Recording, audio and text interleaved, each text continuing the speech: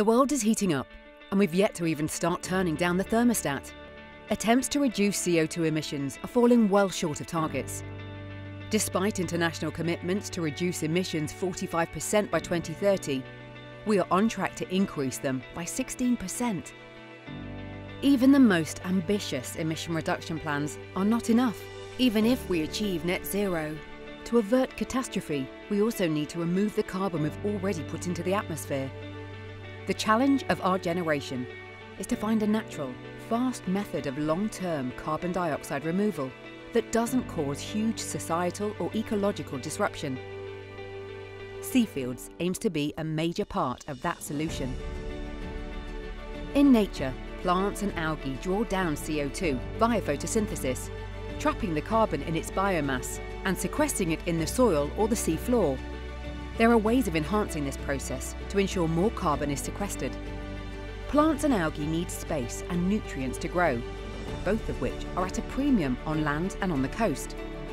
However, the open oceans are huge and have huge untapped reserves on nutrients trapped well below the surface.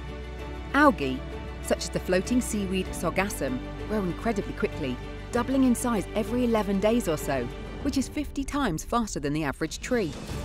What if we could lift these nutrients up to the surface, making use of the vast deserts of the oceans to grow aquafarms?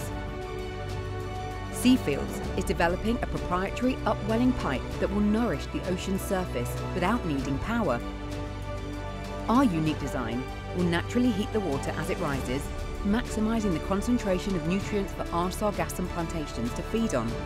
Our aquafarms will bring new industries to the middle of the ocean, relieving pressure from overfished stocks and growing useful materials for industry.